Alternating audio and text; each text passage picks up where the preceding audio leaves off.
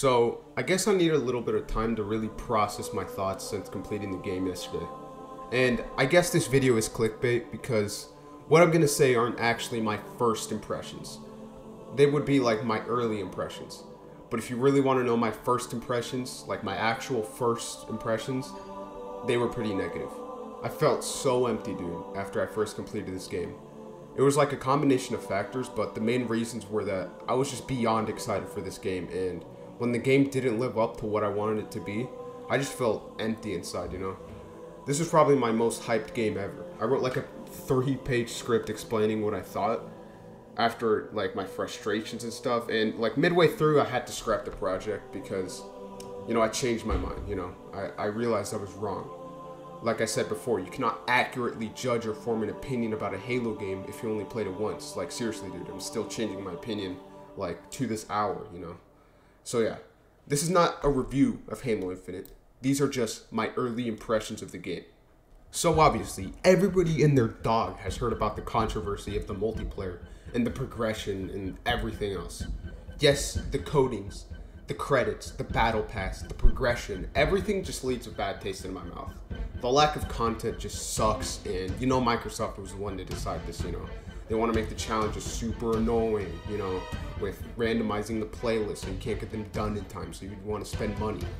And the problem is that Microsoft and 343 do not understand a grain of how to have a Fortnite system. So yeah, they're adding new game modes next week, and you know that's the backlash that's getting to Microsoft. But yeah, the gameplay and modes are just so awesome, and the gameplay is just top notch. Halo Infinite has the best gameplay of any shooter probably ever, mechanically. I don't know if I like it more than Halo 5, but this is mechanically a lot better, right? Everything from the weapon sandbox to the aiming to the movement, it's just all good, you know? It's all fine-tuned to perfection and combines elements from every Halo game beforehand to create something incredible. So yeah, multiplayer. But yeah, that's it. So let's talk about the actual part of this game that everybody, including me, waited for. Multiplayers can come and go, you know, but the campaign of the game is eternal. And personally, my most hyped part of this game. Well, to start, I think the open world is definitely what the game needed to be priced at $60, you know. The other campaigns are great, but 8 to 12 missions is just not worth $60, dude. And I'm not saying that Halo Infinite's campaign is worth $60, but still, you know. This is a lot more focused on being a standalone game with the small progression system with unlocking Marines, weapons, vehicles, also upgrading your abilities, and of course being able to explore the open world. Which, the open world, dude, is just absolute class, and I love it, dude. Sure, it could have had more than one biome, and sure, there isn't a lot of interactable wildlife and stuff, but at the end of the day, you're exploring Zeta Halo in a Halo game. This is just so awesome and a great addition to the to Halo as a series. You know, everybody has been waiting for this since the second level of Combat Evolved, and it's just exactly what they needed to do the level design is where Halo Infinite shines in the campaign. It might be too early to say this, but when it comes down to pure level design, enemy design, and sandbox design, this could be the best Halo campaign ever. One of the best FPS campaigns ever. I don't think it beats Halo 1, but I'll just have to replay the game more. It just came out, you know? But yeah, I don't want to spend too long, but this is just such a good campaign with its levels. And the gameplay is super good with all these micro decisions being made in your head. It's the best type of shooter, really. I will say that I think the Sentinels could have been used more and they could have attacked the Banished, but you know, it's fine. Maybe more variety with them like in Halo 2 you had you had the big sentinels and stuff but yeah this is a great mix of like not only weapons but like qu- equipment now and movement and decision it's the enemies also very a lot of strategy when it comes to them. But yeah man unreal glow up from 343 coming off Halo 4 and 5 bro just insane. Now something else to appreciate is the art style. The Forerunner aesthetic looks really good in this game and can we just appreciate that for the first time in 13 years, we finally see other colors that aren't just gray for in the Forerunner aesthetic. It looks so good, bro. And Also, the Zeta Halo history told by some of these visuals, stuff like the Cylixes, ancient humanity structures, Forerunner systems. It is all so cool and something that really fascinates me. You know, that's one of my favorite things about the Halo universe, you know, the Forerunners.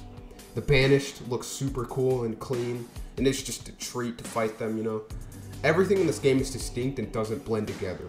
The graphics are not the best I've ever seen, but like the Act Man says, Halo isn't supposed to look realistic 8K. It is supposed to look cool. And yeah, man, I couldn't I couldn't have said it better myself. This is probably like one of the best art styles ever. Now, surprisingly, I actually do have some complaints. The game just doesn't feel too Halo to me. That's partly because of the music, but which I think was pretty misplaced throughout the game in my opinion, when you have a story like this, I would rather you just embrace Halo than trying to go all logic all the time, you know, because this story isn't perfect, okay? There are some inconsistencies, or at least right now I think that. But like I like I remember, I was like three fourths through the game and the Halo theme just started playing and I was like, bro, sick dude. But that's my problem. They they used a bunch of bland tracks instead of just embracing the ones that already existed, you know. It mostly lies in the soundtrack, but yeah, man, like I didn't even hear "Walk in the Woods" or "Undercover Undercover Night" once, bro. And like, what? Also, in the end, we're in the silent auditorium where it's falling down. I remember being like, "Where's the warthog, bro? Where's the warthog, bro?" Nah, they just jumped into a portal and like, yeah, just escape like that. But you know, I guess it makes sense. But you know, they should have gone all out with the Halo stuff. You know, like seriously, bro. But yeah. Also, can we talk about the sickest freaking boss fights, bro? I'll talk about the villains themselves later, but holy crap, dude, these bosses are just goats, you know? Halo has always had trouble with boss fights in the past, so to say I'm impressed would be an understatement, a massive one, dude. They are just so natural and fun to fight, and they each have their own unique style. My favorite boss is definitely Blade Master, dude. It was like playing Five Nights at Freddy's and Halo at the same time with the use of sound cues and technique, you know? These bosses are just so cool, and I would love to see this idea expanded upon in the future, you know, or campaigns or whatever. So now we arrive to my most controversial part of this game the story.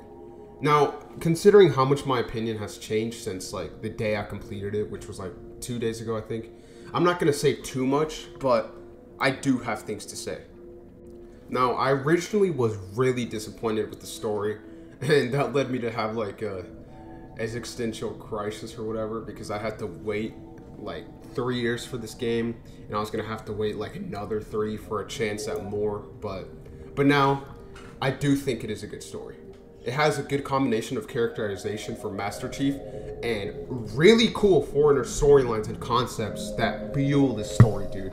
That's probably like my saving grace, you know, or not saving grace because I, I do like the story, but you, you know whatever. Like seriously, dude the legendary ending in this game is my favorite to any Halo game ever. It is just incredible, bro. It is worth playing legendary to just watch this ending, dude. Like before, Atriox was just a leader, but after that, holy crap, bro. He could have the potential to be the best Halo villain ever. Like Jesus Christ. However, I do have problems. Like, I feel Brohammer doesn't really have a solid place in the story, or at least one that makes sense. I didn't really buy on why Chief would be so motivated to keep him from like going home. Like, bro, he's not even a Marine, so like, why don't you just get an actual Marine to pilot the Pelican, you know? He also kind of wants to just go home the entire game to see his family, and is only relieved when Master Chief says that they're almost done with the fight. So yeah, whatever. I don't know. My actual problem is the weapon. She was okay at first, but she kind of ruins the awe of the Forerunner structures because the game treats you like you're taking her on a ride, you know, to see these things. Like, no kid. I want to see this new world and the Forerunners that I love so much, you know. I waited six years. Like seriously, there was a part where I found one of those Halo 2 drop holes, like from the Sacred Icon mission, and I was ready to cry and fall down the thing. But while I was falling down the thing, dude, she started screaming and being like, woohoo! Like, dude, so annoying, bro. Like, also when Chief fails to delete her, when she almost gets captured and they have like that little drama, she just bitches and moans in your ear during combat. And it's like, dude, shut the freak up, bro. One part where you're fighting the back the backup monitor and the sentinels back him up and she's like, look, chief, he brought friends. See, he has friends. Like, bro, seriously, what is this passive aggressive? Like, do we really need to have her talking? Like, come on, bro. But yeah, those criticisms, you know, they're just there. I, I don't know. I'm not really too like strong about them, but you know, I, I thought I'd just point them out. My actual biggest problems with the game is the super bad animations and the cutscenes that sometimes almost ruin the mood. And I guess it is a combination of how like I would imagine others perceiving it. Like I don't think I care that much, but still, like when Brohammer was crying, but his character model didn't even try to be animated in a way where you could believe that he was crying. It's weird because you have this biggest tech company in the world, Microsoft, backing you up, and you're failing for these mistakes.